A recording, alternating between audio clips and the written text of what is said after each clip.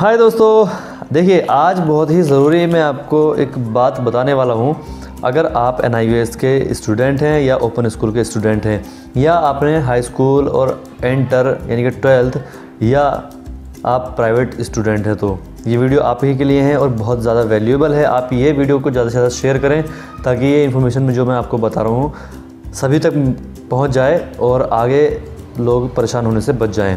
तो चलिए शुरू करते हैं और जानते हैं आज का लेटेस्ट अपडेट। तो मैं हूँ आपका दोस्त बिलाल चौधरी और आप देख रहे हैं अपना यूट्यूब चैनल टेक्नो गिफ्ट तो चलिए शुरू करते हैं।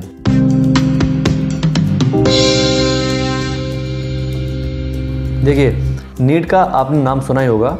नीट मतलब national eligibility cum entrance test ये होता है मेडिकल लाइन के लिए, जिसमें आप एमबीबीएस का एंट्रेंस मतलब जब आप ये एंट्रेंस देंगे तो आपको एमबीबीएस में BDS और इस टाइप के जो मतलब मेडिकल लाइन के जो कोर्स हैं, उसमें आपको एडमिशन मिलता है नीट के थ्रू ठीक है? अब जो मैं शॉकिंग न्यूज़ आपको देने वाला हूँ, वो ये है कि अगर आपने ओपन स्कूल से ट्वेल्थ किया हुआ है तो आप नीट का एग्ज़ाम नहीं दे सकते। जी हाँ। साथ में अगर आप प्राइवेट स्टूडेंट हैं ट्वेल्थ के अगर आपने ट्वेल्थ प्राइवेट किया है और आप सोच रहे हैं कि मैं एमबीबीएस का एग्ज़ाम दे दूँ या एमबीबीएस के लिए नीट का एग्ज़ाम दे दूँ तो आप फिर भी एलिजिबल नहीं होंगे। और तीसरी बात, अगर आपने एक सब्जेक्ट से इंटर किया है सपोज़ आप पहले मैथ के स्टूडेंट थे और आप चाह रहे थे कि आप बायोलॉजी से इंटर कर लें तो आपने सिर्फ़ एक सब्जेक्ट का एग्ज़ाम दिया और अब आप सोचते हैं कि मैं एलिजिबल हो गया हूँ नीट का एग्ज़ाम देने के लिए तो आप गलत हैं, आपको एलिजिबल नहीं किया गया है। जी हाँ मैं ऐसा कहाँ से बता रहा हूँ? तो चलिए चलते हैं पहले कंप्यूटर स्क्रीन पे और देखते हैं क्या ये जो मैं आपको न्यूज़ दे रहा हूँ, ये सही है या मैं अपने मन से बना रहा हूँ? तो चलिए चलते हैं कंप्यूटर स्क्रीन की तरफ़। अब आप कंप्यूटर स्क्रीन पर हैं और जो आगे की इन्फॉर्मेशन है, वो आपको मैं बता देता हूँ। पहले मैं आपको जो न्यूज़ की कटिंग है, वो मैं आपको दिखा देता हूँ। उसके बाद हम नीट की जो मेन वेबसाइट है, वहाँ पे चलेंगे और इन्फॉर्मेशन को पूरा कंफर्म करेंगे। तो अगर मैं बात करूँ न्यूज़पेपर की तो आप देख सकते हैं, इसमें लिखा है नीट ने सॉरी नीट में एनआईओएस प्राइवेट छात्रों को नो एंट्री। देश भर में एमबीबीएस और बीडीएस दाखिलों की राष्ट्रीय पात्रता सह प्रवेश परीक्षा नीट में राष्ट्रीय मुक्त विश्वविद्यालय शिक्षा संस्थान एनआईओएस प्राइवेट छात्रों और बायोलॉजी को बतौर अतिरिक्त विषय पढ़ने वाले छात्रों को एंट्री नहीं मिलेगी। केंद्रीय माध्यमिक शिक्षा बोर्ड सीबीएसई ने नीट का नोटिफिकेशन जारी कर दिया है। इसके आवेदन शुक्रवार से शुरू हो जा रहे हैं। देश भर में यह प्रवेश परीक्षा 6 मई को आयोजित की जाएगी। नीट परीक्षा से न केवल M B B S S B D S बल्कि वेटनरी, आयुर्वेद, होम्योपैथ के कोर्स में भी दाखिला मिलेगा। इस बार नीट में कई बदलाव देखने को मिले हैं। सीबीएसई ने साफ़ कर दिया है कि एनआईयूएस या प्राइवेट छात्रों छात्रों को नीट में शामिल होने का इस साल मौका नहीं मिलेगा। नोटिफिकेशन के मुताबिक आवेदक की आयु 17 से 25 वर्ष के बीच होनी चाहिए। बाकी जो है पेज नंबर 14 पर है, वो भी मैं आपको दिखा देता हूँ।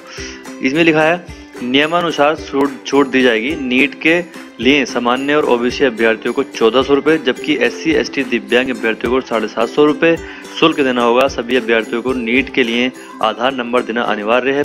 परीक्षा आवेदन पत्र भरने के लिए देश भर में सुविधा केंद्र बनाए गए हैं। ऑनलाइन आवेदन की तिथि नौ मार्च है।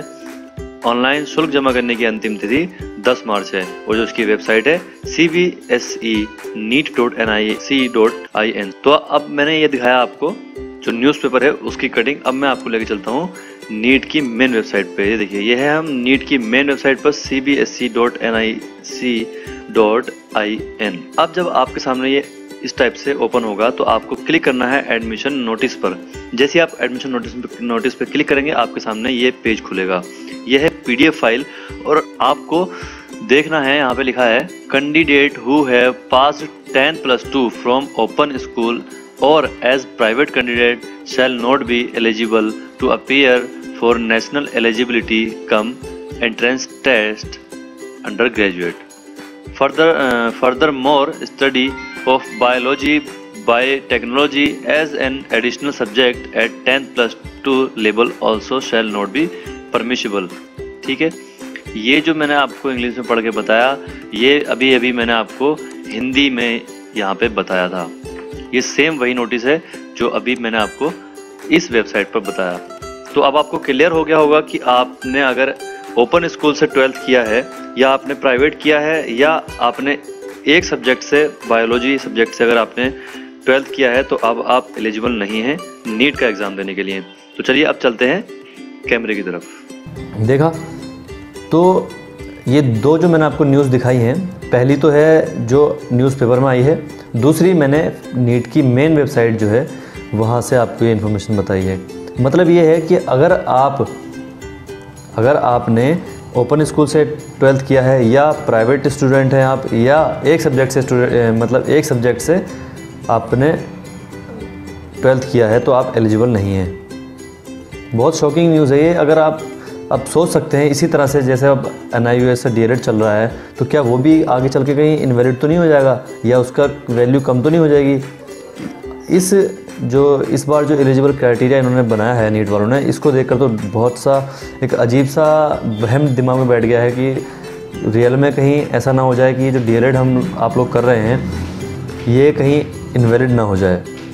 चलिए, भारत जो भी है, वो आगे जा, देखे, देखा जाएगा कि ये वैलिड होता है या इनवैलिड होता है।